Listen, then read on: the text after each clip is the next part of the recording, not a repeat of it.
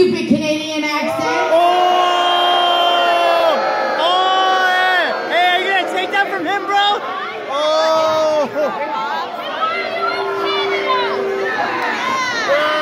But that doesn't matter if I can't understand them.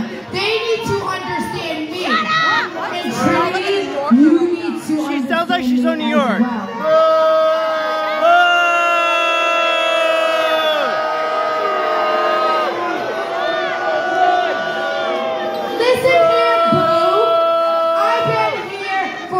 Very long time. How long? You haven't made it You know something, Train? Everyone thought that I was just a champion's walk. Yeah, take a sip, bro. But that is not the case. Things are changing. Because you suck. It took me a very long time to understand that I thought I needed to change, Eddie. I But fucking love what? her. I needed to change. You just need to suck more.